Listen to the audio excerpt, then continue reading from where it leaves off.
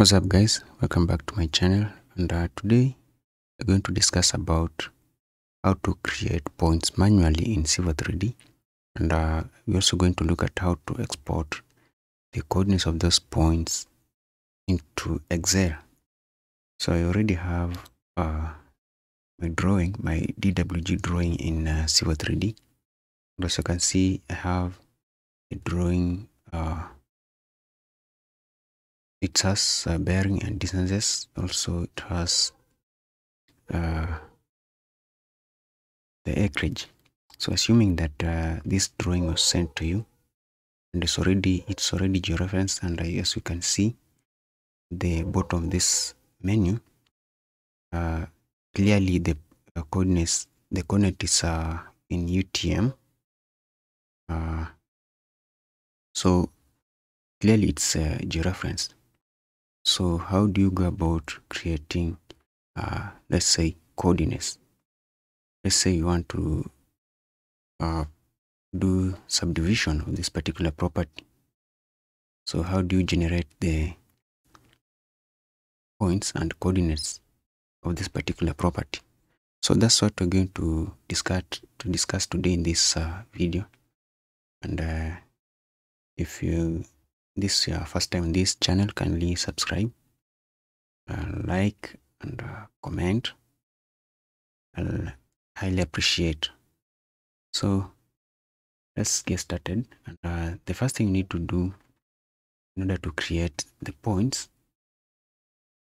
you need to find uh, the point tab. The top menu is it's actually at the among the topmost uh, menu bar and it's right here it's called points. So you need just need to click on points and choose the second uh, option which is create points miscellaneous. Then uh, just go to manual create manual. So if i try to place my cursor on one of these on this uh, corners will realize that uh, nothing happens. So that's because I've not activated uh, the snap tool so just need to activate the snap tool. So uh, at the bottom of this uh, particular menu you will be able to see this icon or just you can just hover around and you'll see it's called snap cursor so just create on this particular arrow then you can choose uh, and can activate center. But just choose intersection because these lines actually intersect at a particular point. And these corners uh, this particular point of intersection uh, are the ones that we're mostly interested in. So now after activating the snap cursor or snapping tool now if I place my cursor I'll be able to see that uh, it's telling me that that particular point is an intersection. And uh, since my create point is active I can simply click on that. And if you look at the command bar it's telling you to enter point description. So it's already it, it already have the coordinates. So what it's telling you is to give that particular point name. So uh, just give it uh, PT1, PT1 4.1 then enter. So this time around is telling you to specify a point elevation. Since uh, this is not a, a topo survey or uh, yeah it's not a topo survey you're not interested in height? So I'll just uh, skip by just uh, hitting enter. Just hit enter. And it's telling you please specify a location for a new point. So this particular uh, point has been added and as you can see it's right there. But uh, the name of the point has not been added. We're going to do that in a bit. So go move to the next point and it's right there. I'm going to give it pt2 so click enter. And elevation. Just click ok enter. Move to the third. Then give it a name pt3 hit enter again. And lastly click on that with pt4 click enter enter again. Now we are done with points. You can just close. And uh, what we need to do uh, is to click on one of these points and then right click anywhere and click select all. Now with the point selected we are going to click go to home tab and find this uh, tool space then click on properties. Uh, we want to label our points. Now you should be able to see this uh, particular tab. It's a point label. As of now it's default. Yeah just click on that down arrow again what we want is description only. And uh, just like that points have been labeled. So now we have our points. These are the points. And, uh, if you want to prove if you want to look at the uh, the coordinates uh, head back to points point tab just click on it and then uh, you should be able to see this uh, list points. Click on list points. And now we have your points. Uh, the easting nothing. Elevation you have row description full description you have point number. So now that we have our points we can actually export those points in excel. So what we need to do uh just go back to points. Uh, you should be able to see this import stroke export points. And we are interested in export. Choose export points. Uh, now uh, this export point uh, wizard the first thing you need to specify is the format. And by default you can see it's giving me p n e z d in bracket comma delimited. So in short uh, it's going to export these points in uh, csv uh, comma delimited. But the format now is uh, point is point id uh, the nothing uh, n stands for nothing e stands for easting uh, z stands for elevation and d stands for description, description or uh, the point name. So you should but you can as well uh, choose you can click on this down arrow and choose the format that uh, you want. But I'm just going to leave it as pnezd then the next thing you need to specify is the file destination. Where do you want to store uh, that particular file?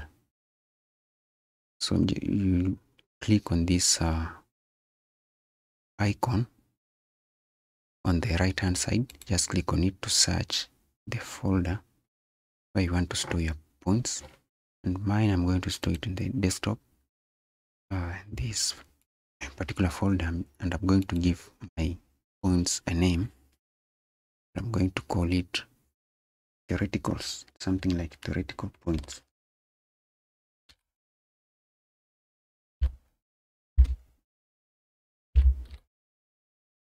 Theoretical points. So just click open and click ok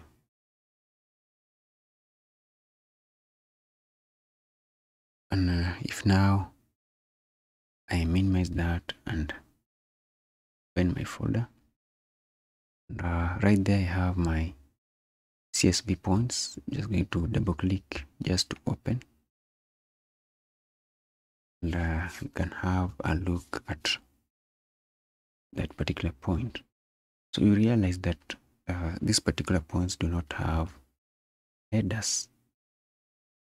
And uh, can simply change the elevation to zero. That.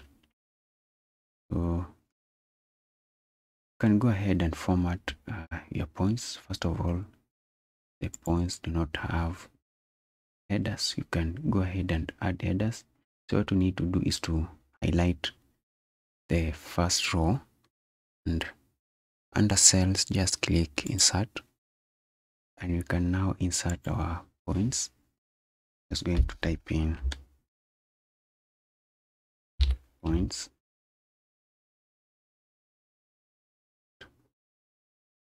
And another thing you need to do can just control it select everything that particular range. Uh, you want uh, to be centered to be centered. And uh, our top our headers want them bold. And uh, so increase that particular so let's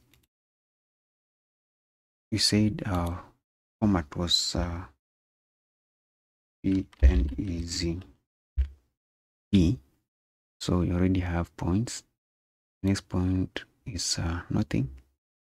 Typing. In nothing. Then easting.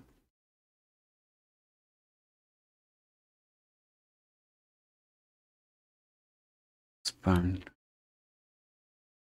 To elevation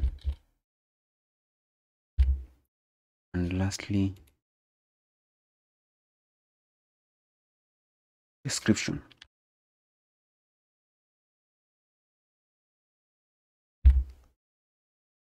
Like that another thing you need to format. Yeah cell precision so just go ahead and highlight the coordinates and then right click go to cell format or you can just uh, go to uh, cell uh, cell format under cell groups then choose format cells. What we want is numbers and I want the numbers two decimal places. Click ok like that. Now you have your data in uh, excel. So if you want to know if your data is uh, actually correct what i can do is to minimize my excel. You can prove that using a calculator. Let me just minimize that. Then can open our Civil 3D now if you look at our diagram let's just confirm uh, let's use one or two lines or just one to confirm if our our points are accurate correct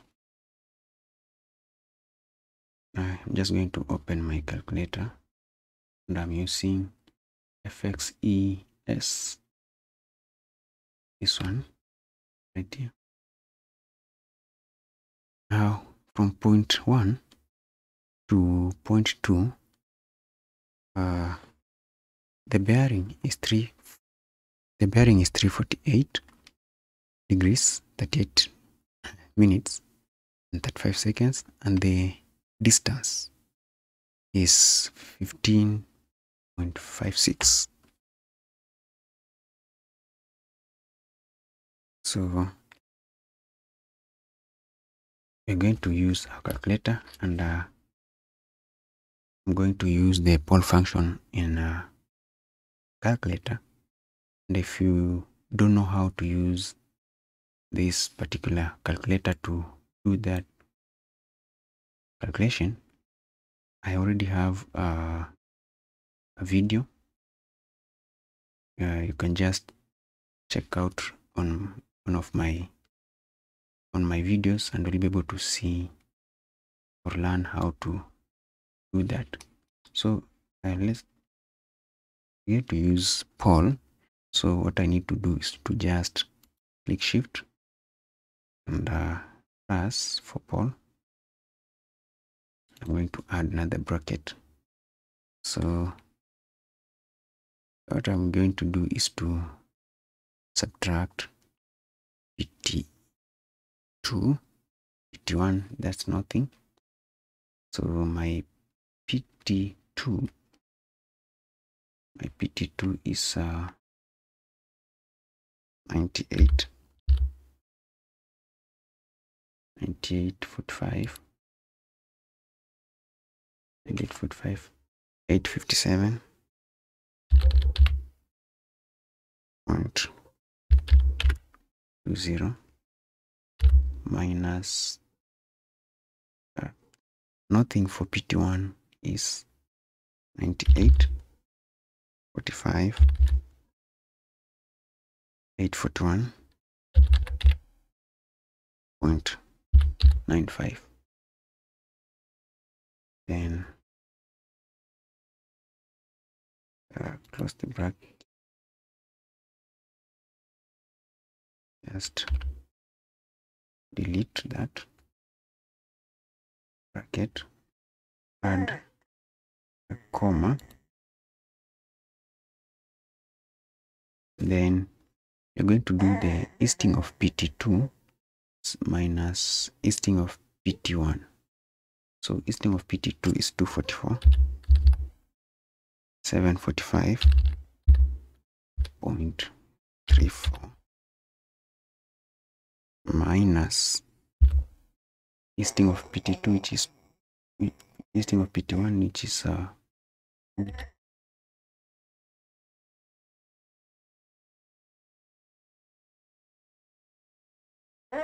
Seven forty-eight.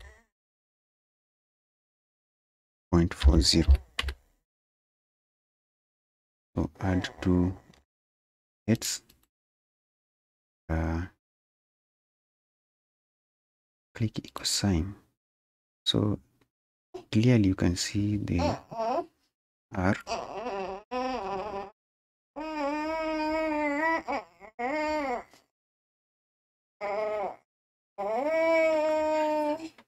fifteen point uh, five and uh,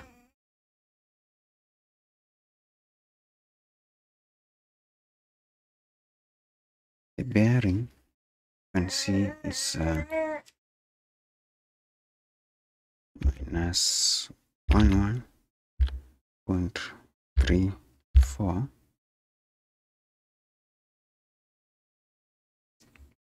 Six zero five three eight eight.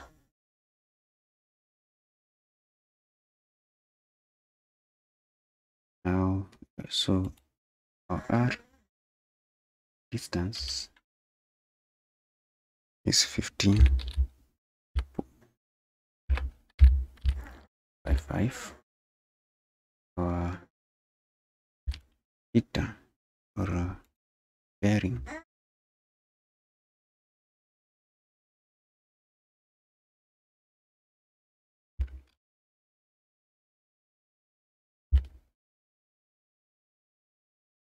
just bearing is uh, just negative one one point three four six zero five thirty nine. So if i click the degree sign equals to so this if you have a negative bearing what you need to do is to just add 360 now we have our bearing is uh, 348 degrees 39 uh, minutes 14 seconds. So which is very close to our bearing right here. So that's it uh, for this tutorial. Uh, kindly uh, subscribe. See you in the next tutorial